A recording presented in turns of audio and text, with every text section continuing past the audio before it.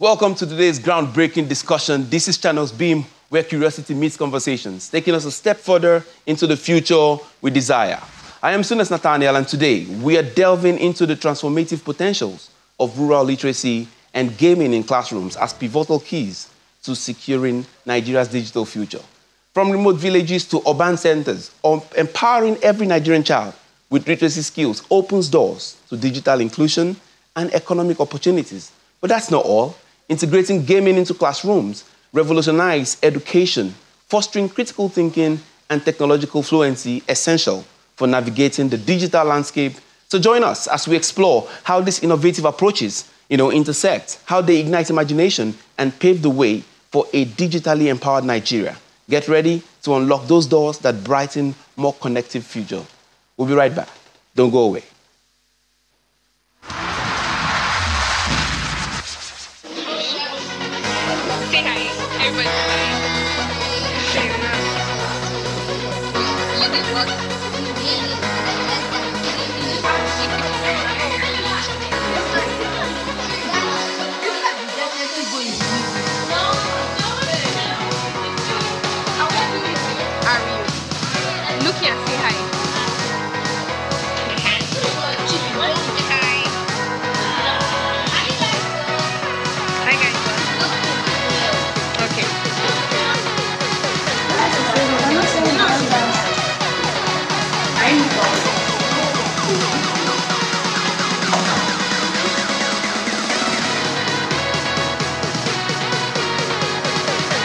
Want to be able to express myself without fear or shame. If I am helped, I believe I can. To read, speak, and write is a right. My dream is valid. Thanks for staying with us. Our spotlight video takes us right into the heart of the subject of the day and also gives us a hint as to our distinguished guest with whom we'll be discussing how rural literacy, gaming in classrooms, can serve as pivotal keys to securing Nigeria's digital future. Joining me here in our Abuja studios are two highly cerebral individuals who are key players in educating and re-educating the future generation using innovative methods. First, I have Mrs. Stella Uzochukwu Dennis, an electrical and electronics engineer who is an educational technologist and currently serves as director of the ODC Educational Foundation. Also here with us is Mr. Sam Wokoma, a researcher, data analyst, and development sector consultant who serves as founder of Soul Fitness Center, a non-governmental organization and direct youth intervention geared at influencing young people in character and career development. Ladies and gentlemen, you're both welcome to our program. You're welcome. Thank you. Thank you so Thank much. you. It's a pleasure. All right. Uh, let's get right into it. We have very little time for this discussion. So I'm going to start with you, Uncle Sam. They, they usually will refer to you as Uncle Sam, uh, those, those, those who you mentor. Uh, the first question for me is going to be very simple. Having labored for quite a while, you know, in this space, I mean, literacy in rural develop, in rural areas, uh, what are some of the things that you have discovered, especially within Abuja and maybe across? Uh, what are the things you have discovered and how does it affect, uh, how does it affect the way you apply you know, your, your research? How do you apply it to helping those children in those locations?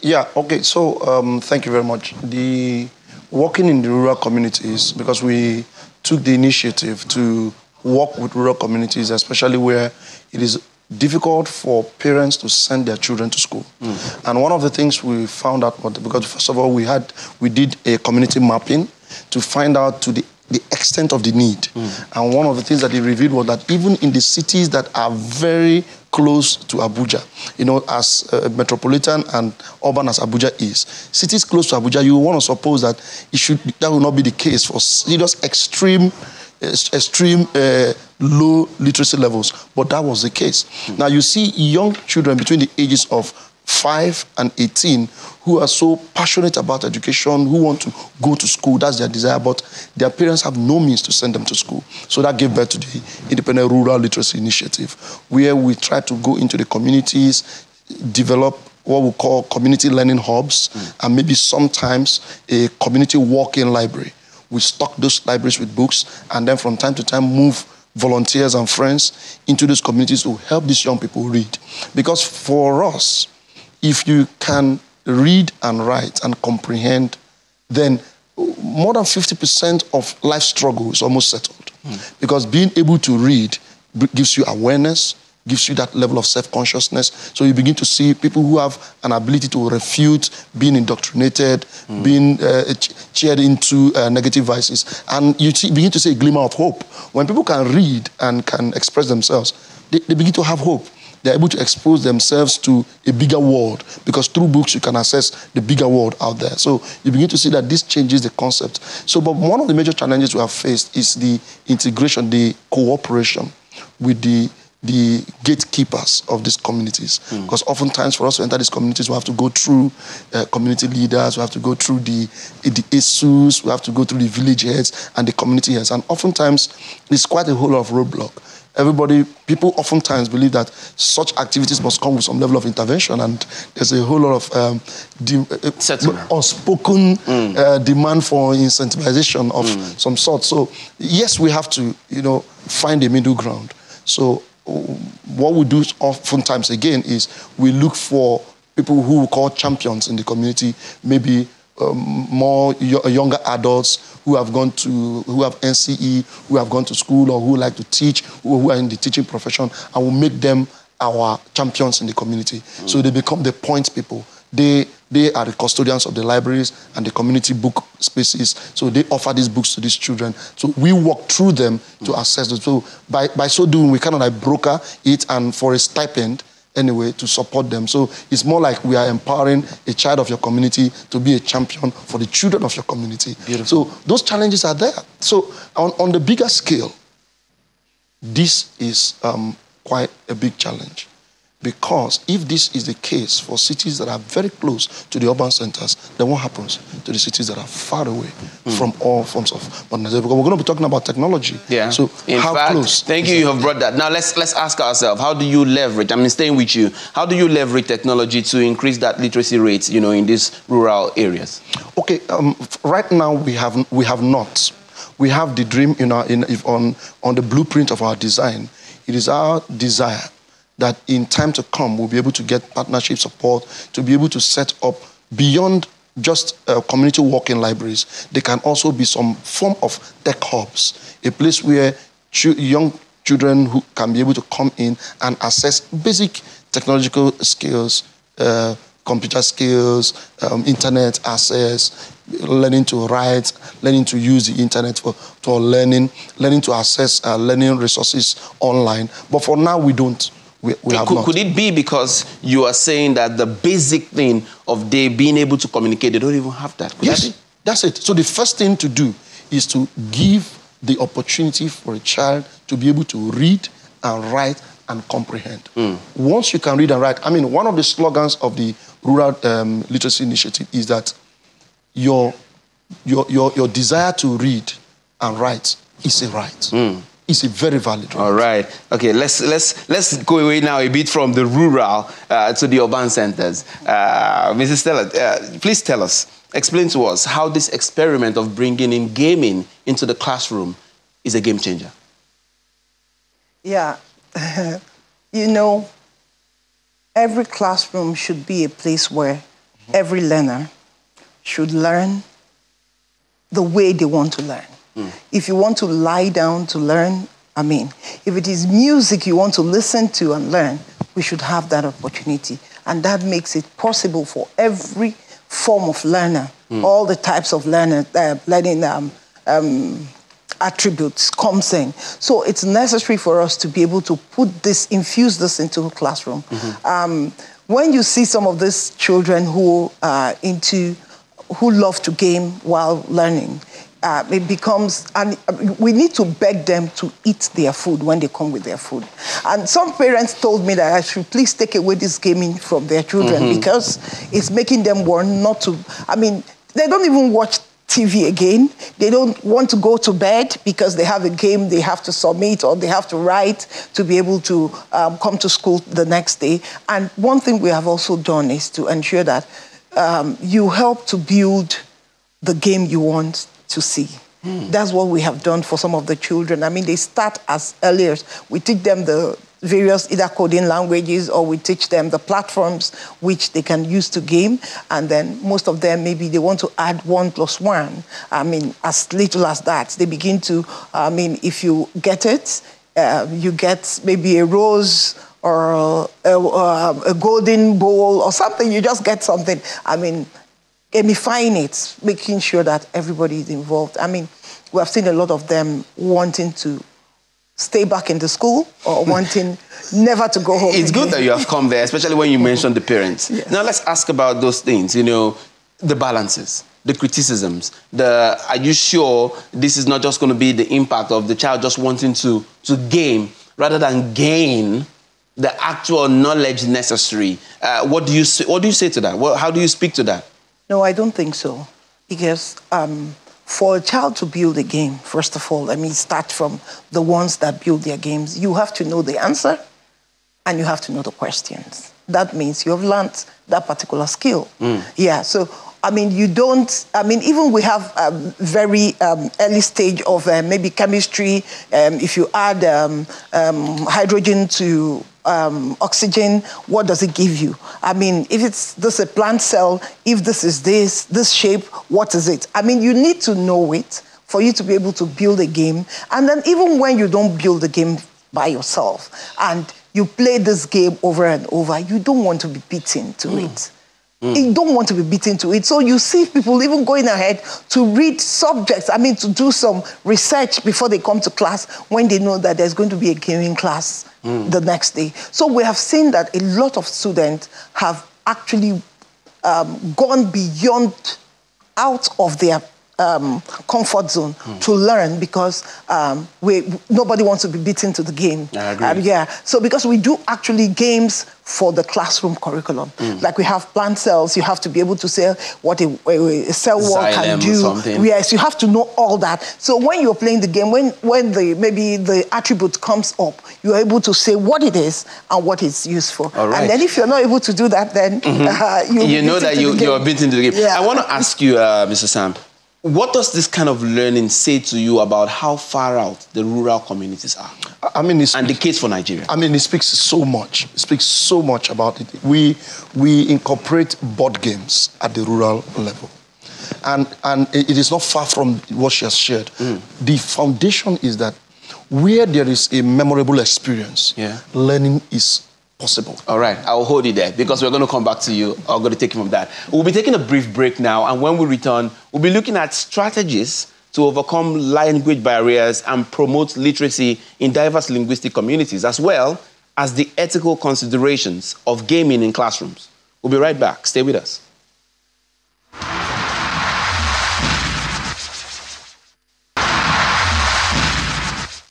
Welcome back. You're still watching The Beam coming to you live from our studios in Abuja. Our guests, Sam Wokoma and Stella Uzochukwu Dennis, are still here with us, and we're still looking at rural literacy, gaming in classrooms, and how they can serve as pivotal keys to ensuring and securing Nigeria's digital future. Uh, just before we went on break, uh, Mr. Sam, you were speaking about how this dichotomy in what she has just said about using the games in the room and yeah. what the rural communities experience, how, how it really talks to what Nigeria is and where we are really at the moment. Yeah, so, so, so the, gap, the gap is wide. But, but let's dwell on the advantages and mm. the, the, beauty that this adds. So what, what she mentioned is this, and this is it for me. That, and I was saying that memorable experiences, especially for young people, young people who are learning, when they can have memorable experiences in the practice of learning. And that's one thing that games bring in, mm. be it board games, be it IT supported games, codes, you know, programming, because the, the power of programming is you put codes together and then you see an output, an outcome that is so wow. And that it doesn't just wow you, it wows all the people around you. Now that's a memorable experience for you. It drives you to do something more. Mm. So that kind of feeling in learning is a driver. So if we must break the, if we must break that, that ice around literacy, we must be able to bring in this kind of innovation. Now, bring it to the rural place. Now, in the rural place, mm. there is no access. Oftentimes, there are no access roads. I mean, we assessed a rural community um, not too far, not up to five kilometers out, uh, away from the FCT. Mm. And we had to park at some spots and then walk the other way in. So there are no access roads. There are no good um, there are no uh, good water. Mm. There, there are, there's no electricity. Now, if there is at all, uh, you can imagine what it is. So now, how do you support tech in such a community? There's no security. And sometimes you want to put up these uh, learning hubs in these communities, and your first fear is security because you put these things together, will it be there till the next day? So, it- so you see the, the gap. So gaming and games in as, as a tool to drive literacy is key principle. I mean, and it's a researched method. It is working. But how do we achieve this without first achieving the first building block? So, i- talking about the Nigerian situation, and that's the Nigerian situation, is quite a wide gap. Mm. A wide gap that needs to be closed. Mm. How can it be closed? Partnership, partnership with individuals, organizations. I mean, there are several organizations who, who push their corporate social responsibility into other areas. Now, if you ask me, I would say that maybe by some form of either advocacy or by some level of legislation, there should be a huge level of demand or of uh, of drive from corporate organizations to push social responsibility towards other alternative means of educational support for rural for rural communities. All right. I stand Uh, on that. that's a very good place to actually stand. But, but let me just take it before I come to her.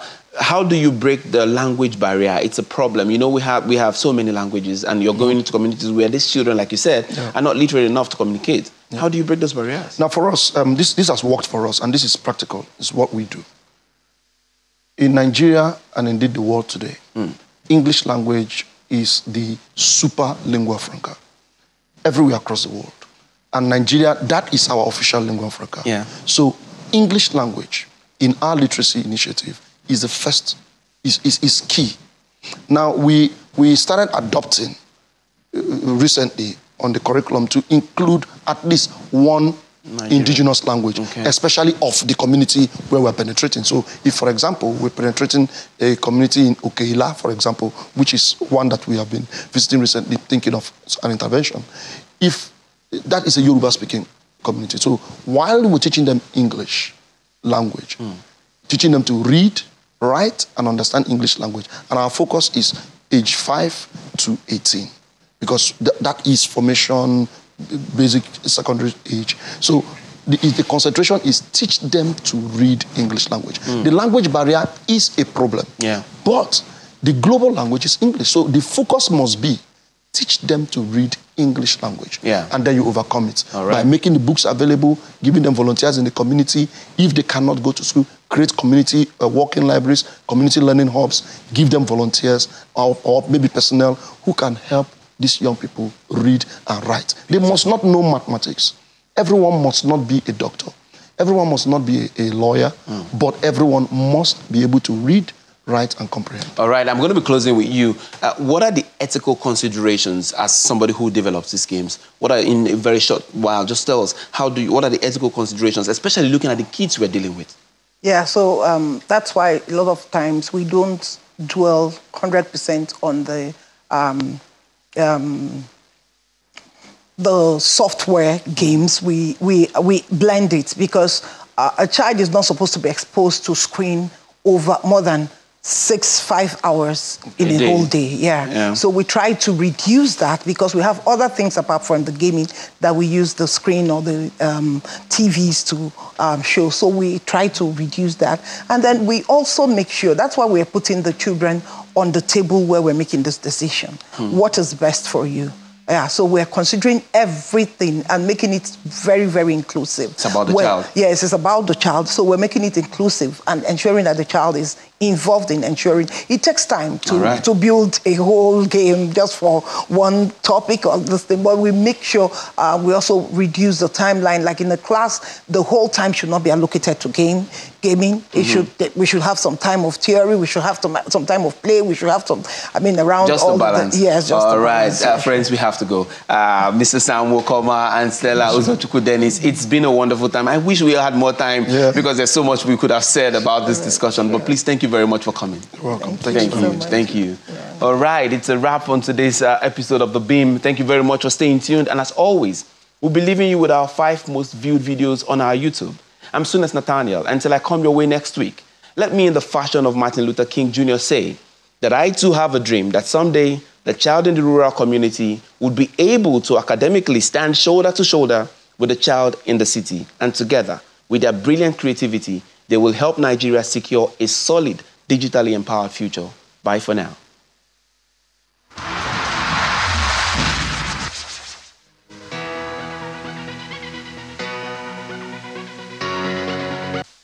Nigeria is a very rich country. We have no reason whatsoever to be poor. We have no reason to be hungry. We'll begin this week's most viewed videos countdown with an interview in which Professor Usman Yusuf laments over Nigeria's economic crisis, saying it is saddening that Nigerians are turning into beggars. Leaders of our time, like I said, I mean, they were better custodians of that which they were entrusted with. The primary problems of all we are going through are two things corruption and bad governance. End of story. Say no more. Distinguished ladies and gentlemen, um, I am emotionally drained, so I'm not going to try to do anything uh, that requires my emotional reservoir because I'm not too sure there's much for me to draw on. Coming in the fourth place on our countdown this week is a clip in which Nigerian business mogul, banker and philanthropist Aigboje Aig-Imoukhuede pays tribute to the late Herbert Wigwe. Let us rise up in unison and begin to send a clear message of appreciation to this general. Whenever you're tired, you can stop, stop, stop clapping. But let's start.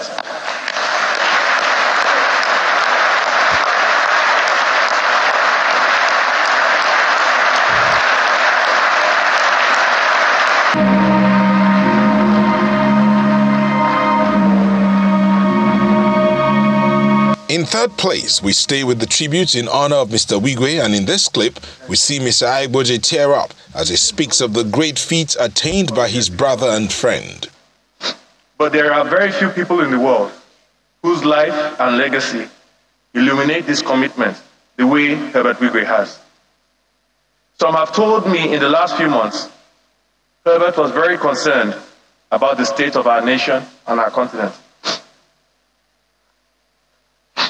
This is indeed true.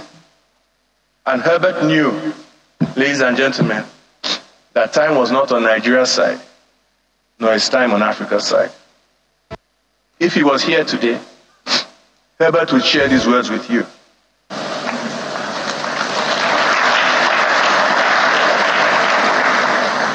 And Paul will remember in second place this week, we still come to a video from the night of tributes held in honor of the former CEO of Access Group.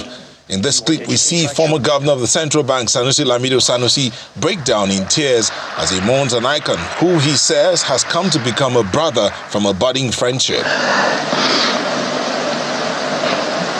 I was thinking I would die and leave Herbert.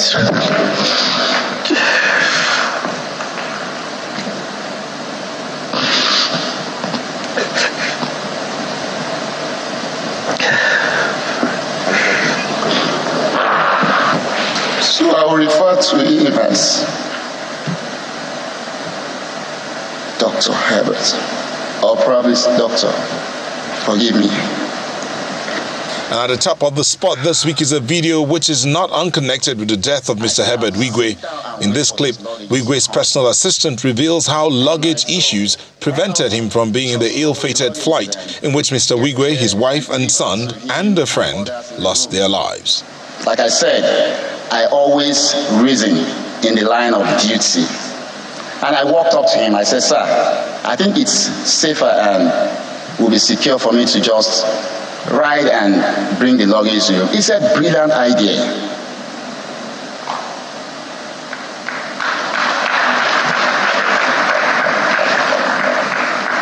And I said, Safe flight.